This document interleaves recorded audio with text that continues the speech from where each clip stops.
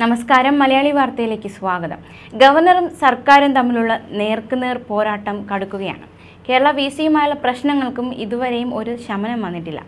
ഗവർണറെ തുരത്താനുള്ള ശ്രമങ്ങളും ഇതിനിടയിൽ നടക്കുന്നുണ്ട് എന്ന സൂചനകളും കിട്ടുന്നുണ്ട്. ഇപ്പോൾ ഇതാ ഗവർണർക്കെതിരെ പരസ്യമായി രംഗത്ത് വന്നിരിക്കുകയാണ് മദ്രാസ് ഹൈക്കോടതി മുൻ judge justice K Chandru. Kerala രാജ്ഭവനെ B J P കാര്യാലയമാക്കിയെന്ന ആക്ഷേപമാണ് അദ്ദേഹം ഉന്നയിച്ചിരിക്കുന്നത്. ആടിന് താടി എന്തിന്? നാടിന് ഗവർണർ എന്തിന്? എന്ന അണ്ണാദുരയുടെ ചോദ്യം വീണ്ടും ഉറക്കെ ചോദിക്കേണ്ട സാഹചര്യമാണ് ഇപ്പോഴുള്ളതെന്നും അദ്ദേഹം പറഞ്ഞു. തെലങ്കാന കേരളം തമിഴ്നാട് എന്നിവിടങ്ങളിൽ ഗവർണർമാരെ ഏൽപ്പിച്ചിരിക്കുന്ന ദൗത്യം ബി ജെ പി ഇതര സർക്കാരുകളെ അസ്ഥിരപ്പെടുത്തുക എന്ന ഉത്തരവാദിത്തമാണ്. ജനാധിപത്യത്തിൽ ഏറ്റവും കുറഞ്ഞ യോഗ്യത ആവശ്യമുള്ള പദവി ഗവർണർക്കാണ്. അതുകൊണ്ടാണ് ആരിഫ് മുഹമ്മദ് ഖാനെ പോലുള്ളവർ ഗവർണറായിരിക്കുന്നതെന്നും അദ്ദേഹം വിമർശിച്ചു. രാജ്ഭവനുകളെ കാര്യഭവനാക്കി മാറ്റാനും കാവ്യവൽക്കരിക്കാനും ശ്രമം നടക്കുന്നുണ്ടെന്നും അദ്ദേഹം പറഞ്ഞു. ഏറ്റവും മോശമായ ഗവർണർമാരിൽ മൂന്നാമത്തെ ഗണത്തിലാണ് കേരള ഗവർണറും തമിഴ്നാട്ടിലെ ആർ എൻ രവിയുമെന്നും അദ്ദേഹം പരിഹസിച്ചു. ഗവർണർ പദവി അവസാനിപ്പിക്കാൻ സമയമായെന്നും മുൻ ജഡ്ജി ജസ്റ്റിസ് കെ ചന്ദ്രു വിമർശിക്കുകയുണ്ടായി. മാത്രമല്ല ജനകീയ ജനാധിപത്യ സർക്കാർ നിലവിൽ വരുമ്പോൾ സംസ്ഥാനങ്ങളിൽ ഗവർണർ വേണ്ട എന്നതാണ് സി പി എമ്മിന്റെ കാഴ്ചപ്പാടെന്ന് സംസ്ഥാന സെക്രട്ടറി എം വി ഗോവിന്ദനും പറയുകയുണ്ടായി. ഇന്ത്യൻ ഫെഡറലിസവും ഗവർണറുടെ പദവിയും എന്ന വിഷയത്തിൽ എ കെ ജി പഠന ഗവേഷണ കേന്ദ്രവും ഓൾ ഇന്ത്യ ലോയേഴ്സ് യൂണിയനും സംയുക്തമായി സംഘടിപ്പിച്ച സെമിനാർ ഉദ്ഘാടനം ചെയ്യുകയായിരുന്നു അദ്ദേഹം. ചിന്ത പബ്ലിക്കേഷൻസ് പുറത്തിറക്കിയ ചന്ദ്രുവിന്റെ ആത്മകഥയായ ഞാൻ എന്ന ജസ്റ്റിസ് പുസ്തകം ചടങ്ങിൽ പ്രകാശനം ചെയ്തു. സി പി എം സംസ്ഥാന secretary M E Govindan N C P സംസ്ഥാന അധ്യക്ഷൻ പി ടി ചാക്കോയ്ക്ക് പുസ്തകം നൽകി പ്രകാശനം ചെയ്യുകയായിരുന്നു. മുൻ മന്ത്രി തോമസ് ഐസക് അധ്യക്ഷത വഹിച്ചു. കേരള കോൺഗ്രസ് നേതാവ് ലോപ്പസ് മാത്യു ജനതാദൾ നേതാവ് വർഗീസ് ജോർജ് ലോയേഴ്സ് യൂണിയൻ നേതാവ് അഡ്വക്കേറ്റ് അനിൽകുമാർ തുടങ്ങിയവർ പങ്കെടുത്ത ചടങ്ങിലാണ് മുൻ ജഡ്ജി ഇത്തരത്തിലൊരു വിമർശനം ഗവർണർക്കെതിരെ ഉന്നയിച്ചിരിക്കുന്നത്. അതേസമയം കേരള സർവകലാശാലയുമായി ബന്ധപ്പെട്ട ഗവർണർ പോരുണ്ടായിരുന്നു. പുതിയ വൈസ് ചാൻസലർ തിരഞ്ഞെടുക്കാനുള്ള സെർച്ച് കമ്മിറ്റിയിലേക്ക് സെനറ്റിന്റെ പ്രതിനിധിയെ തിങ്കളാഴ്ച തന്നെ നിയമിക്കണമെന്ന് ഗവർണർ കടുപ്പിച്ച് പറഞ്ഞിരുന്നു. എന്നാൽ ഗവർണറുടെ ആ ഉത്തരവിനെ പരിഗണിക്കാതെയുള്ള നീക്കമായിരുന്നു കേരള വൈസ് ചാൻസലർ നടത്തിയത്.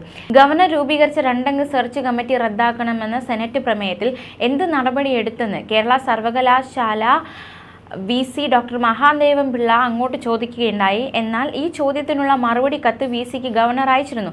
അക്ഷരാർത്ഥത്തിൽ ഒരു താക്കീതായിരുന്നു ഗവർണർ നൽകിയത്. സെനറ്റ് പ്രതിനിധിയെ അറിയിക്കണമെന്നത് ചാൻസലറുടെ ഉത്തരവാണ്. അത് അനുസരിച്ചേ മതിയാവൂ എന്നാണ് ഗവർണർ വി സിക്ക് മറുപടി കത്ത് നൽകിയത്. പ്രതിനിധിയെ നിർദ്ദേശിച്ചാലും ഇല്ലെങ്കിലും സെർച്ച് കമ്മിറ്റിയുടെ പ്രവർത്തനങ്ങളുമായി മുന്നോട്ട് പോകുമെന്നും ഗവർണർ നിലപാട് തറപ്പിച്ചു പറഞ്ഞിരുന്നു. ഇത്തരത്തിൽ നിരവധി വിഷയങ്ങളിൽ സർക്കാരും ഗവർണറും കേരള സർവകലാശാല അധികൃതരും തമ്മിലൊക്കെ ഇടഞ്ഞു നിൽക്കുകയും പരസ്പരം ഏറ്റുമുട്ടുന്ന കാഴ്ചകളൊക്കെ കേരളം കണ്ടതാണ്. എന്തിനേറെ പറയുന്നു മുഖ്യമന്ത്രി പിണറായി വിജയൻ വരെ ഗവർണറെ രൂക്ഷമായി വിമർശിച്ചിരുന്നു. കണ്ണൂർ സർവകലാശാല അസോസിയേറ്റ് പ്രൊഫസറായി പ്രിയ വർഗീസിന്റെ നിയമനത്തിൽ ഗവർണർ ഇടഞ്ഞു നിന്നിരുന്നു. പ്രിയ വർഗീസിന്റെ കണ്ണൂർ സർവകലാശാല നിയമനവുമായി ബന്ധപ്പെട്ട് ഗവർണർ നടത്തിയ ചില പരാമർശങ്ങൾ മുഖ്യമന്ത്രിയെ വലിയ രീതിയിൽ പ്രകോപിപ്പിച്ചിരുന്നു. പൊട്ടിത്തെറിച്ചുകൊണ്ട് തന്നെ ഗവർണർക്ക് ശക്തമായ മറുപടി മുഖ്യമന്ത്രി നൽകിയിരുന്നു. ഇതാണോ ഗവർണർ പദവി കൊണ്ട് ഉദ്ദേശിക്കുന്നത്? ഇതാണോ ചാൻസലർ പദവി കൊണ്ട് ഉദ്ദേശിക്കുന്നത്? മുഖ്യമന്ത്രിയുടെ സ്റ്റാഫിന്റെ ബന്ധുവായതുകൊണ്ട് അപേക്ഷിക്കാൻ കഴിയില്ല എന്ന് പറയാൻ ആർക്കാണ് അധികാരം? ആരാണ് ഭീഷണി സ്വരത്തിൽ സംസാരിക്കുന്നതെന്ന് നാട് കാണുന്നുണ്ട്. അവരവർക്ക് എന്തെങ്കിലും ഗുണം കിട്ടട്ടെ എന്ന് കരുതി നോക്കി നിൽക്കുകയായിരുന്നു ഇതുവരെ. ഏത് കൈക്കരുത്തും ഭീഷണിയുമാണ് പ്രയോഗിച്ചത്. എന്തും വിളിച്ച് പറയാമെന്നാണോ ധരിച്ചത്. സർവകലാശാലകളിൽ പോസ്റ്റർ പതിക്കുന്നതിനെ വരെ ഗവർണർ വിമർശിക്കുന്നു. പോസ്റ്റർ രാജ്ഭവനിലാണോ കൊണ്ടുപോകേണ്ടത്? ഗവർണർക്ക് എന്താണ് സംഭവിക്കുന്നതെന്ന് മനസ്സിലാകുന്നില്ല. അടുപ്പമുള്ളവരെങ്കിലും ഇത് പരിശോധിക്കണമെന്നും മുഖ്യമന്ത്രി ഈ വിഷയത്തിൽ ഗവർണറെ വിമർശിച്ചുകൊണ്ട് ഇത്തരത്തിലുള്ള നിരവധി പരാമർശങ്ങൾ നടത്തിയിരുന്നു. ഇത്തരത്തിൽ നിരവധി വിഷയങ്ങളിൽ ഗവർണർ സർക്കാരിനെ പ്രതിരോധത്തിലാക്കിയിരുന്നു. മുഖ്യമന്ത്രി വരെ പൊട്ടിത്തെറിക്കുന്ന സാഹചര്യമുണ്ടായി. മുഖ്യമന്ത്രിക്കെതിരെ നിരവധി ഗുരുതര ആരോപണങ്ങളുമായും വെളിപ്പെടുത്തലുകളുമായി ഗവർണർ രംഗത്ത് വന്നു. ഇത്തരത്തിൽ നിരവധി നേർക്കുനേർ പോരാട്ടങ്ങളാണ് നാം കണ്ടത്. ഈ രാഷ്ട്രീയ പ്രശ്നങ്ങളെല്ലാം നിലനിൽക്കുന്നതിനിടയിലാണ് മുൻ ജഡ്ജി ജസ്റ്റിസ് കെ ചന്ദ്രുവും കൂടി ഗവർണറെ വിമർശിച്ച് രംഗത്ത് വന്നിരിക്കുന്നത്. ന്യൂസ് ഡെസ്ക് മലയാളി വാർത്ത.